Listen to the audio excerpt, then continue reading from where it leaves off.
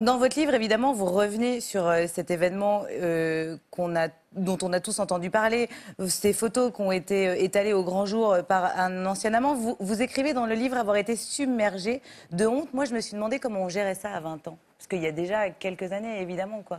Comment est-ce qu'on gère ça? Comment est-ce qu'on on arrive à, à, à l'enlever de sa tête quoi?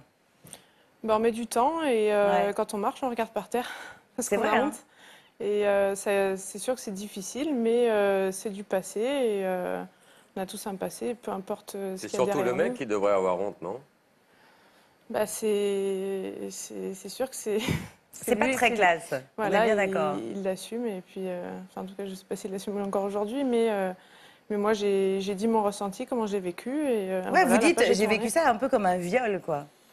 Oui, parce que de se retrouver comme ça, c'est pas, c'est pas évident, c'est pas évident à 20 ans et euh, surtout euh, quand on me les renvoie encore aujourd'hui, euh, même si j'ai digéré, c'est- c'est c'est difficile parce que je me dis que ma fille, si elle les voit un jour, euh, c'est mon seul combat aujourd'hui pour En pas même qu'elle temps, il connaît l'endroit.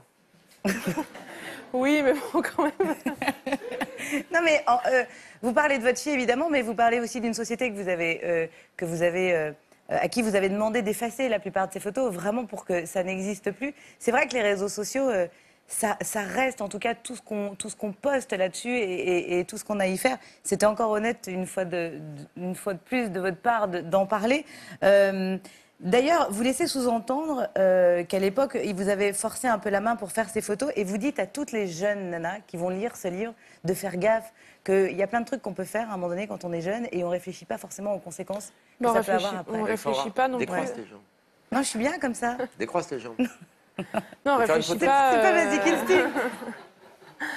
à, à qui on les envoie. Je pense que quand on est avec une personne à 20 ans, on pense que c'est l'homme de sa vie et, euh, et que le monde est tout beau, tout rose, alors que non. euh, et, euh, et surtout qu'après, ça peut être une vengeance et on peut très mal le vivre. Donc il faut faire attention. Et, euh, Et c'est pour ça que vous choisissez d'en reparler dans ce livre, c'est pour ces Mm. jeunes filles, c'est pour qu'elles soient un petit peu alertées. quoi. Oui, c'est pour leur dire de ne pas le faire ou de faire attention si malgré tout elles veulent le faire.